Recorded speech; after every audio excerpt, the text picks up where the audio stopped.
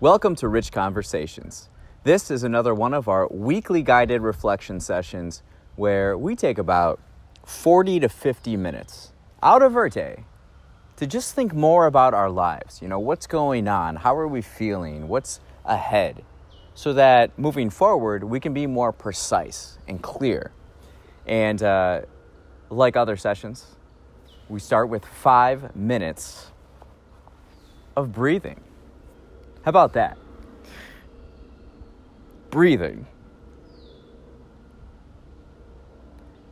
So I'm gonna set a timer here for five minutes, and uh, we're on the farm in nature. It's summer. Life is good, isn't it? But it can get better, and that's what we're gonna work on today. And all these things that we're doing will enhance our experience in life overall, our relationships, everything. So, five minutes. Here we go. We're just going to sit here and breathe in and out.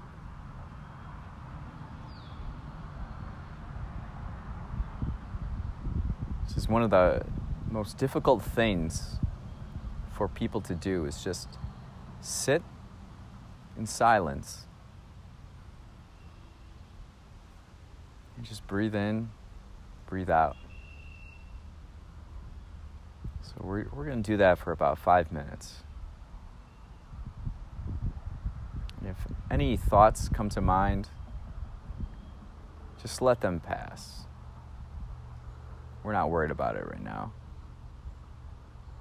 You have the rest of the day to worry about it. We're just going to be here and breathe.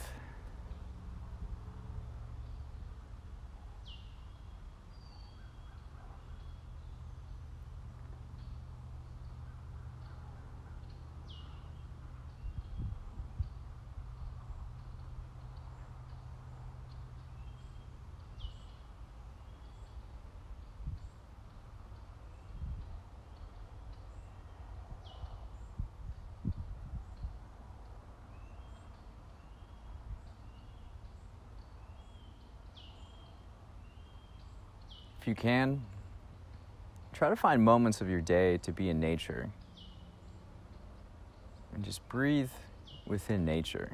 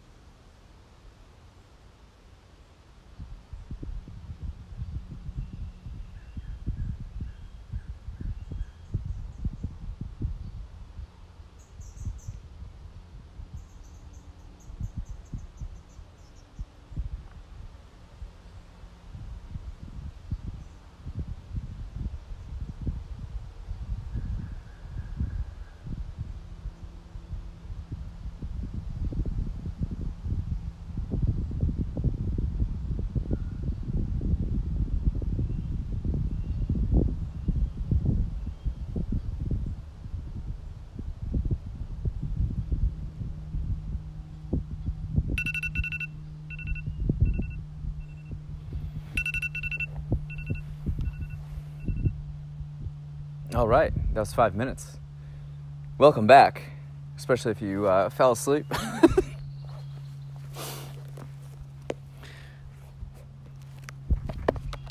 All right. First question as we uh, do this exercise of a weekly guided reflection session is what are we grateful for? It's always a wonderful place to start. What are we grateful for?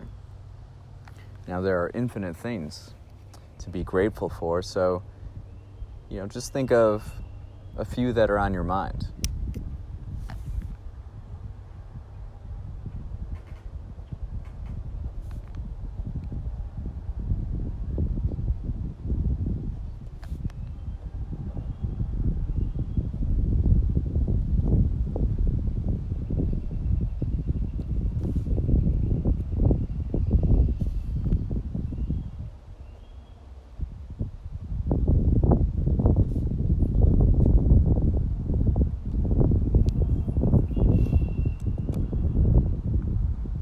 Found this notebook today, the, our journal, and uh, what we use for weekly guided reflection sessions. And because uh, I moved from Chicago to the farm in Wisconsin and uh, couldn't find it anywhere. And then my mom was like, "Hey, are you looking for this?" I was like, "Oh my gosh, there it is." Uh, probably about three fourths, more than like three fourths done. There are 190 pages in here, and we're at 168. And then we digitalize them when we're done. Therefore, if anything happens to the physical copy, we have a digital copy.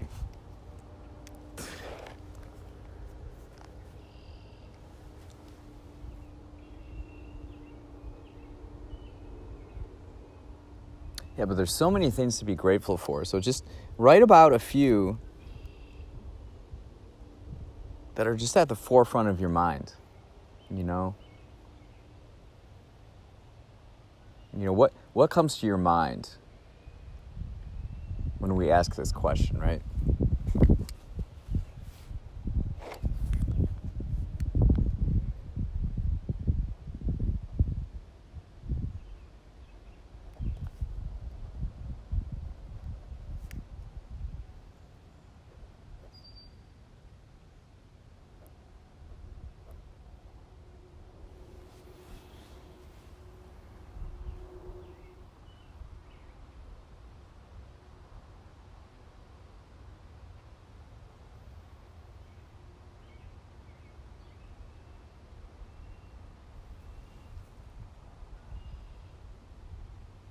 Should learn the sounds of each species of bird.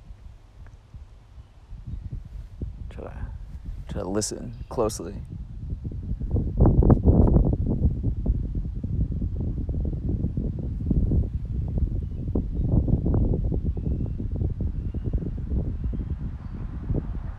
Nature is really something. If you if you pause and you just observe nature, you can learn so much. And how often do we do that, you know?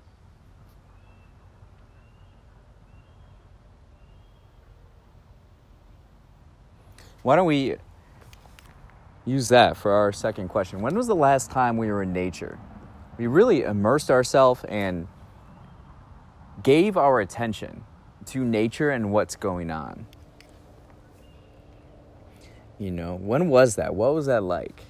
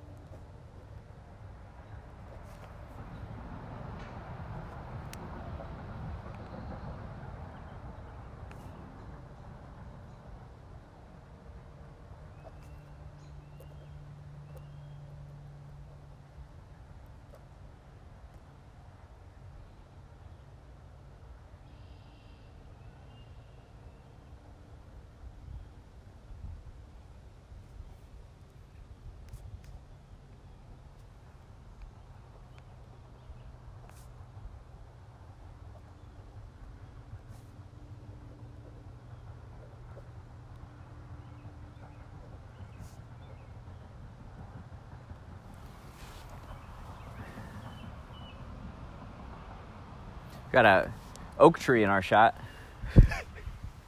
the last the last recorded, I was I like to find interesting, you know, spots and visuals. Oh, there's a robin over there. This is a good, healthy oak tree. This got to be 150 years old. Yeah, the biggest, biggest, sem, uh, biggest oak tree that I know of is in the, the cemetery in town. Might be, might be around like 400 years. I wish there were more trees like that still around. Um, what happened was there were all these big trees, and when the settlers came, they used those trees to build cabins and barns, things like that. So you can, like in the barns, you'll you'll see like uh, like 16 inch wood panels, and then 12 and 8. Um, so the bigger ones are older.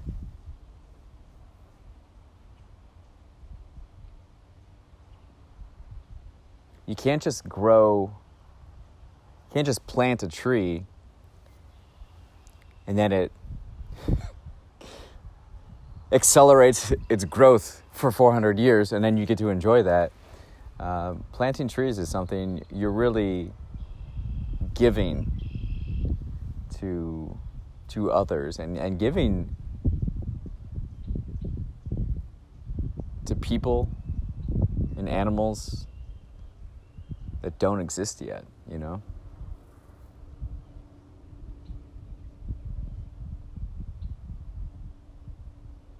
Oak trees.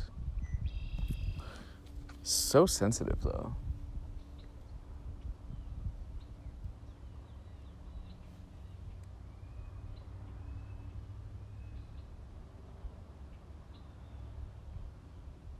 They look tough, but they're they're kind of sensitive.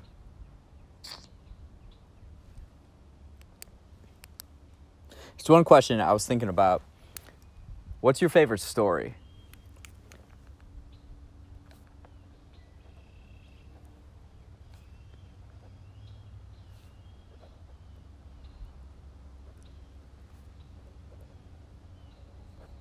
Now, this could be, you know, anything from uh, um, movies or comic books or children's stories. I'm thinking in particular of children's stories.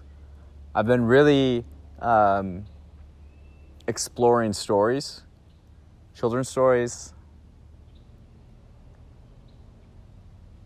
more like um, simple stories that share a lesson.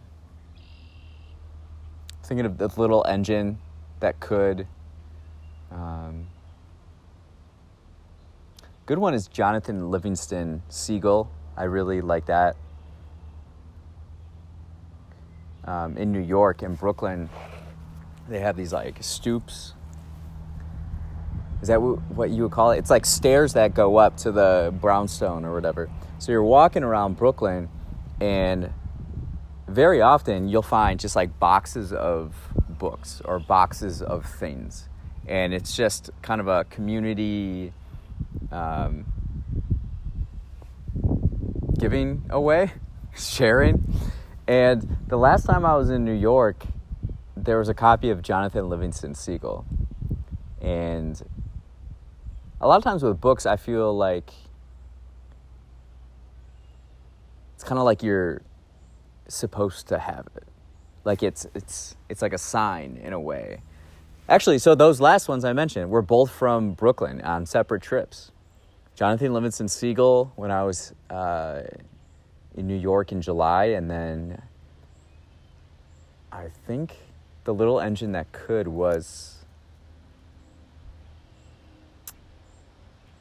I think it was this recent one in March.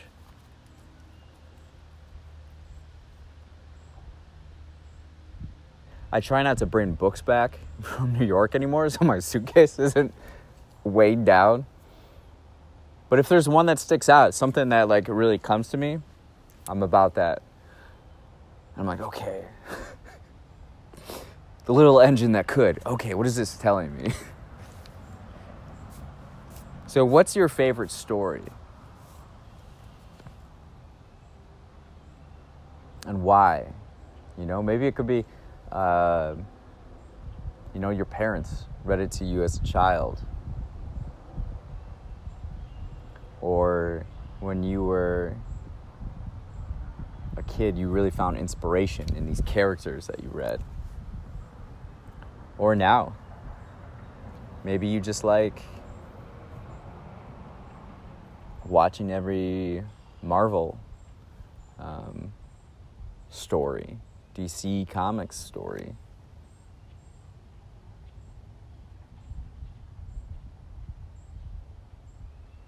But yeah, I've been I've been having fun with stories. As humans, we love stories. We're all about stories. And I've really gravitated towards that concept and idea recently.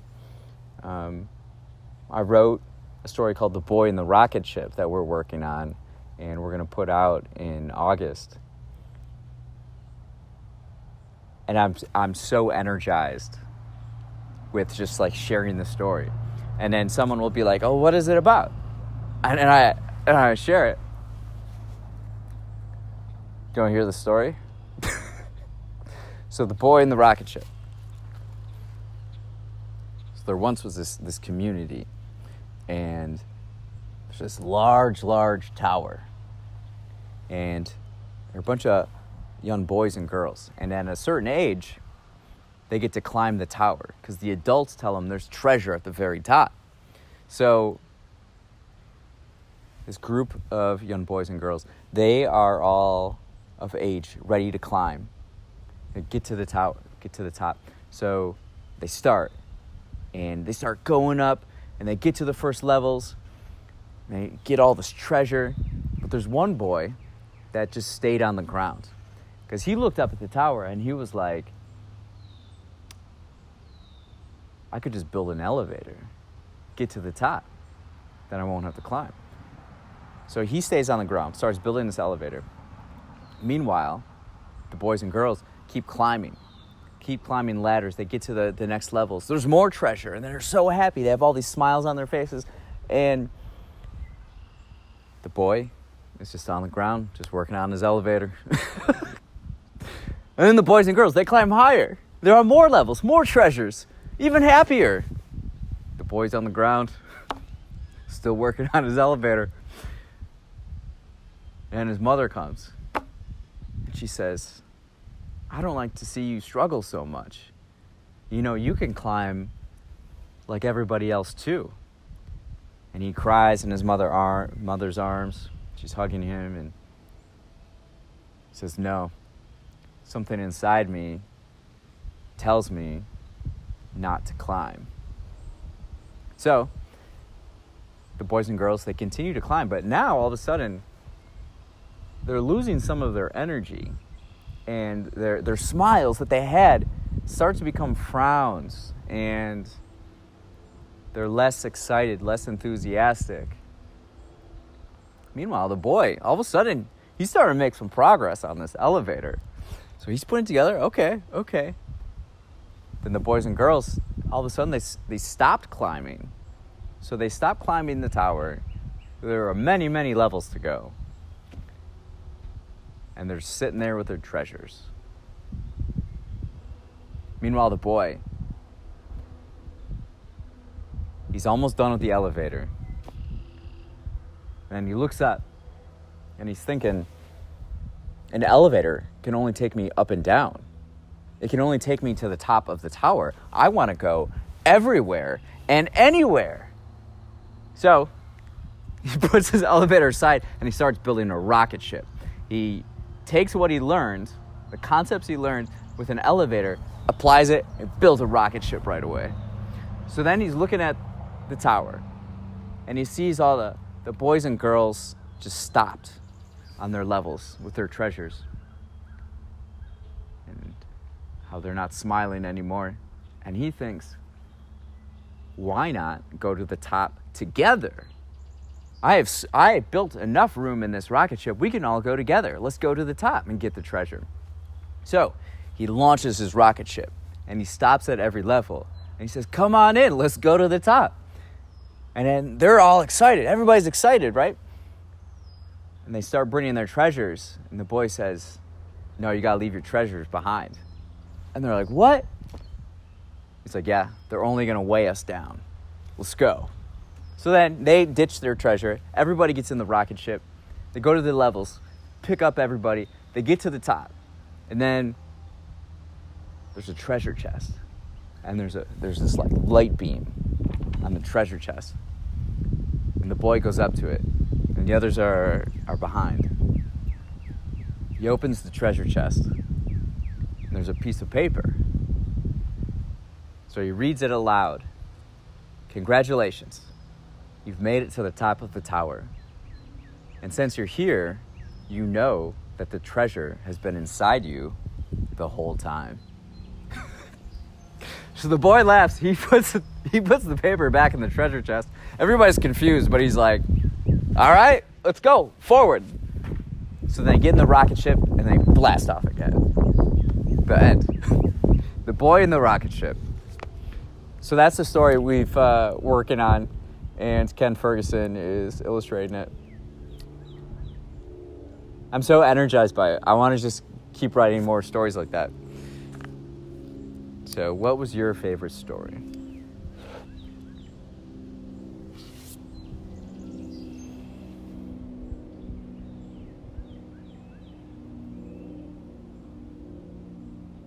It's a lot of what we have and within society. Everything is storytelling.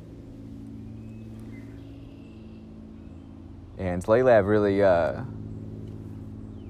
got a hold of that. Really inspired and energized.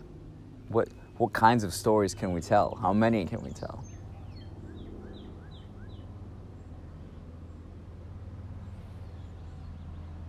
This next question. What's your biggest idea? I want you to write down what you think is your biggest idea.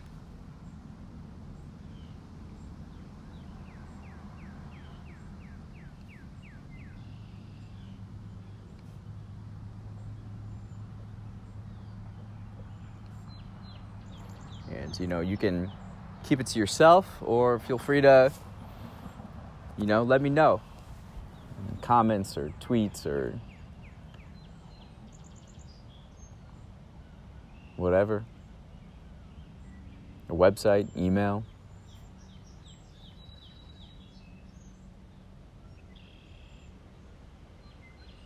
What are our biggest ideas?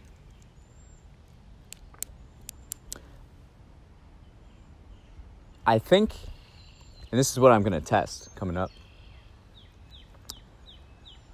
I think it's easier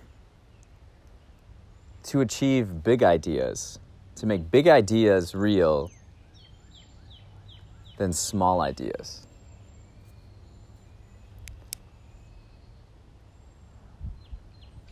I think big ideas are easier to execute than small ideas.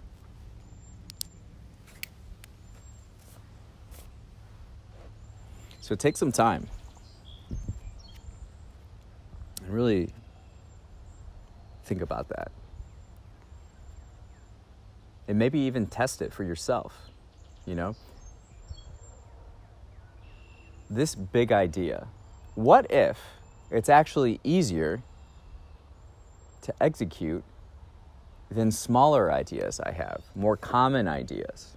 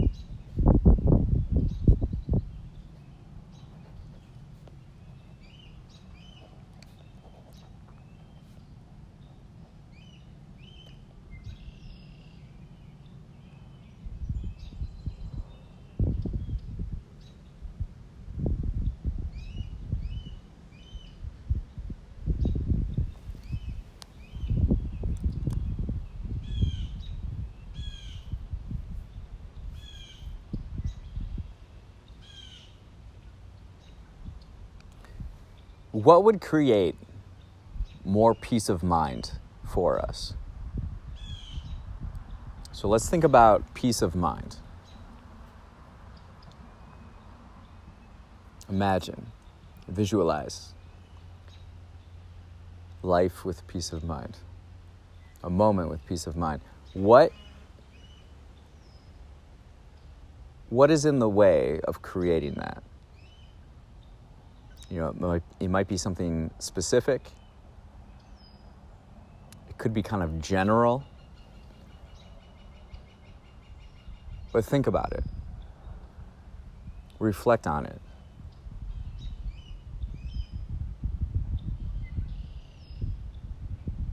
That is heaven. Peace of mind, just even keel.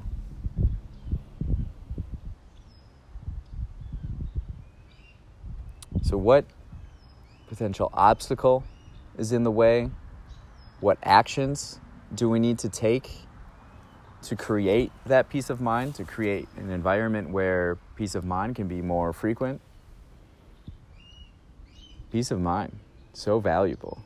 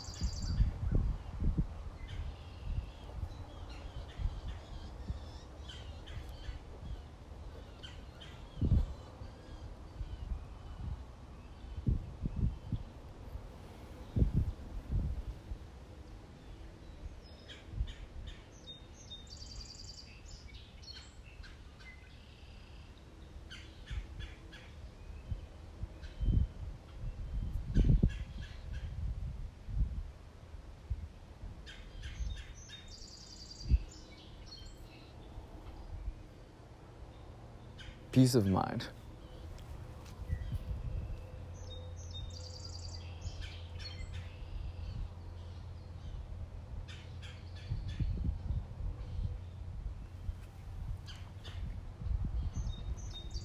So, something kind of adjacent to that would be what's our environment look like with peace of mind? Like, what kind of environment are we in when we're visualizing peace of mind, right? What kind of environment can we create that enables that peace of mind easier, more natural, more as the default, you know? So when you're visualizing that, when you're conceptualizing peace of mind, like, what does that environment look like? How can you create that for you?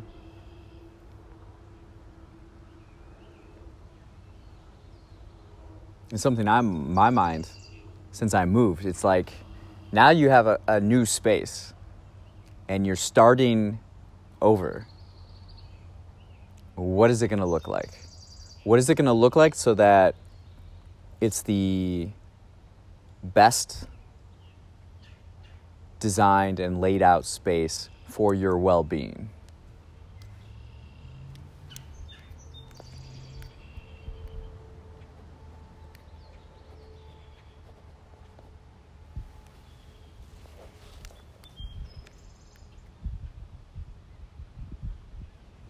You know, so what, what does that environment look like? What's in it? What you know what what colors what what furniture what objects what smells what's the lighting like? Is it really bright? Is it dim? Is it adjustable? Um, there's all these different elements. So think about what you enjoy most and what brings you the most peace. Take some time to note that. And if it's not even in your own space, think about spaces you've been in that you've felt this way. You know, what were they like? What elements did you like that were involved?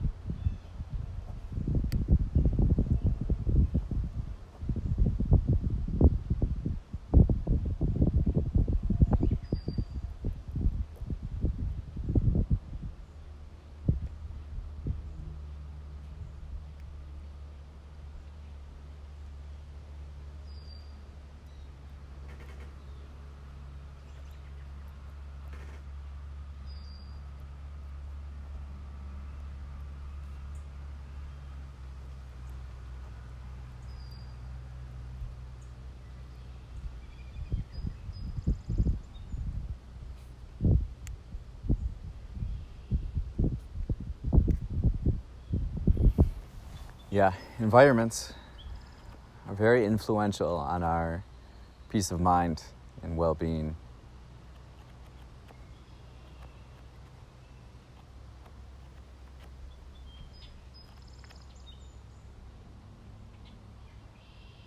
What's something we could organize better in our lives? Whether it's something physical, materials, or on our mind.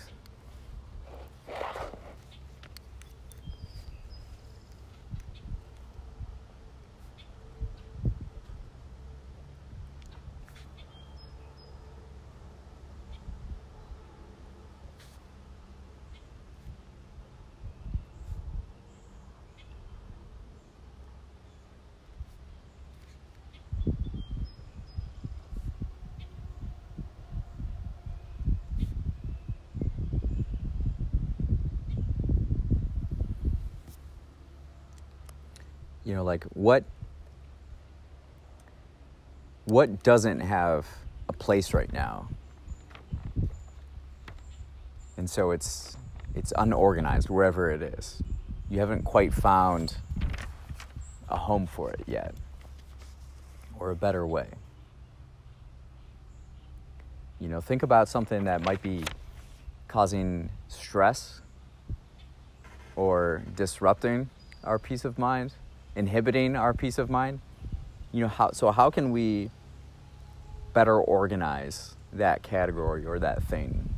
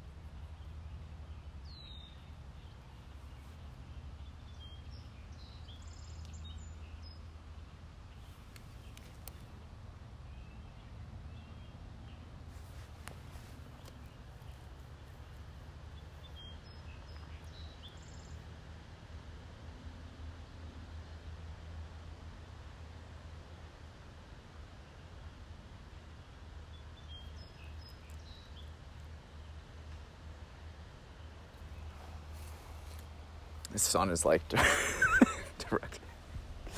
Uh.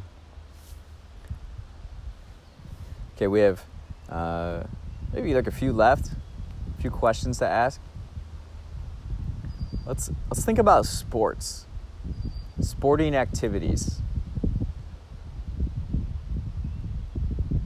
You know, a sporting activity or organized sports that we enjoy watching, participating in, something we're looking forward to coming up. Um, let's think and write about that. You know, maybe, uh, you know, like soccer's going on right now, baseball, the Olympics coming up. You know, or are you interested in, you know, recreational activities at cookouts, parties, summer places that you go. Yeah, the, it's really valuable to understand sports, what's going on in sports, culture. It really enables you to connect with other people um, from different backgrounds. It's fun. It's humans competing, you know? Great stories can emerge from sports. So many, yeah.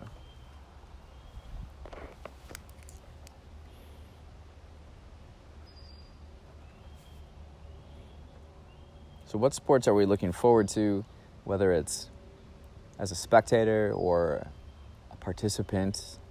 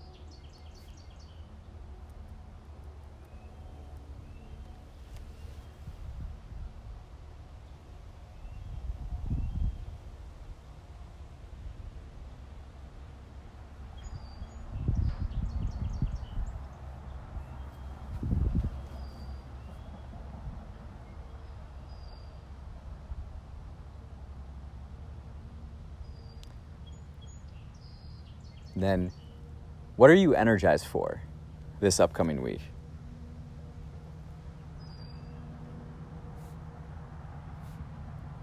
Whatever you have coming up this week, like what is something that you know will make you feel alive and present and just happy to be participating, being there, doing it?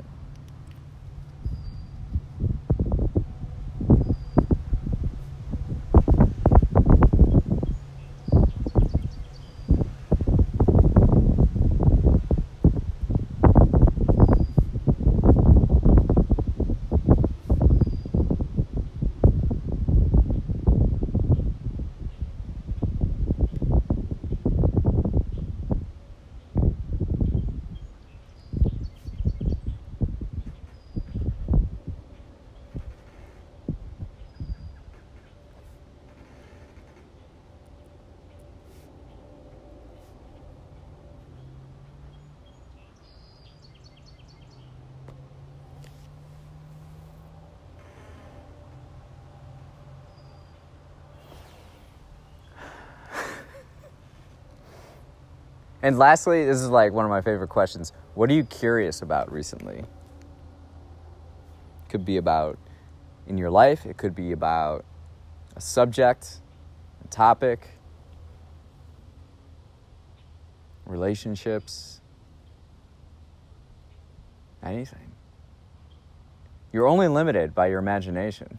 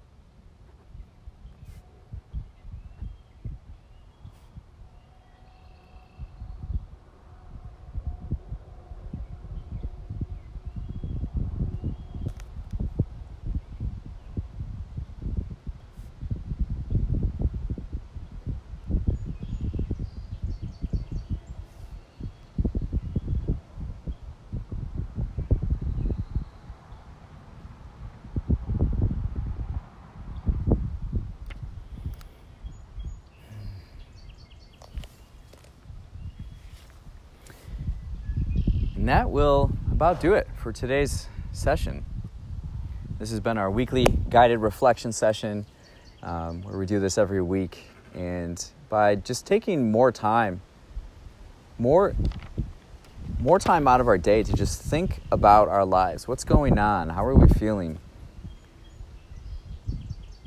We can really improve our, our clarity and the precision in our actions moving forward. And be with each other, which is great. So thank you for being here. We'll see you next week.